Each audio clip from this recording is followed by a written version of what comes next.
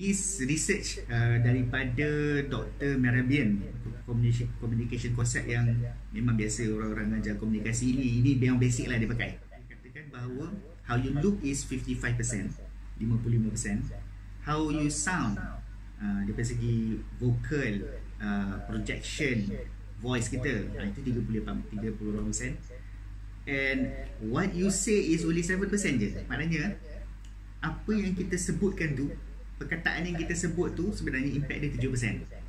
Tapi yang lebih berkesan, lebih impact dia adalah uh, tu, how you look. Uh, how you look ni sebab tu kadang-kadang kalau kita tengok ada orang ada gaya je kan. Gaya memang hebat. Cakap belum tentu betul. Tapi gaya dia hebat terus ada impactful. 55%. Itu menunjukkan bahawa body language kita kalau kita present ataupun kita bercakap ke depan orang body language kita tangan kita muka gaya badan memainkan peranan. Peranan dia sangat penting. Sebab kalau body language kita tak mencerminkan seperti mana apa yang kita sampaikan dia tak akan sampai. Walaupun ayat yang kita gunakan tu very fundamental dia yang pertama sebelum kita present uh, nak menyampaikan sesuatu perkara yang pertama sekali sebenarnya adalah to understand nak menjual mouse kita nak jual mouse so kita kena bagi mouse tu kepada dia dan dia lebih aktif.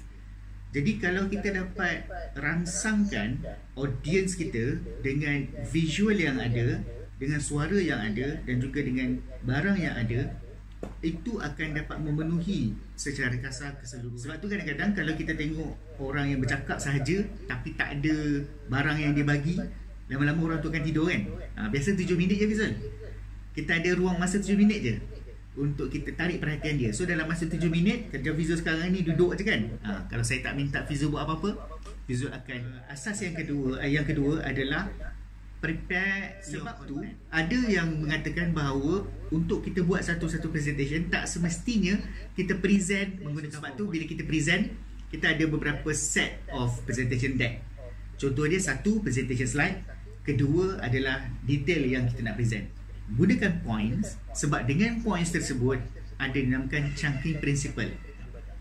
Jadi kita kena pilih apa yang kita nak kena present. Delivering confidently. Maksudnya kita dah uh, analyze audience kita dah juga prepare kita punya text yang ketiga asas dia adalah delivering confident mana-mana sekalipun di peringkat national, international, siapa sajalah. Bila dinamakan sebagai manusia dia pasti akan ada rasa gemetar dalam satu ke lima minit sebelum nak present. Rasa macam stres. Apa tu sebenarnya? Ada satu ah, benda yang paling penting yang saya belajar sebenarnya tentang air.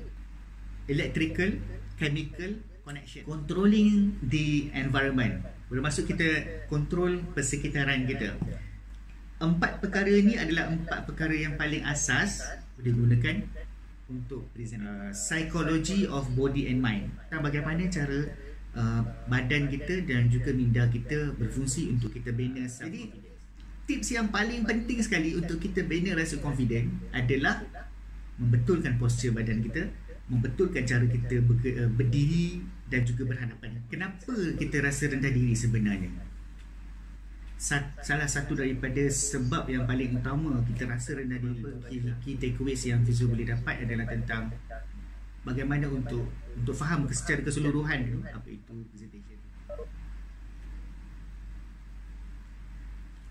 Itulah dia sesi kelas tentang business presentation communication skill yang saya namakan sebagai dynamic presentation skill untuk uh, myclass.com jadi inilah dia hasil daripada apa yang saya sampaikan menggunakan platform uh, platform Webex dan daripada platform Webex inilah yang akan saya sampaikan uh, kelas-kelas saya yang seterusnya.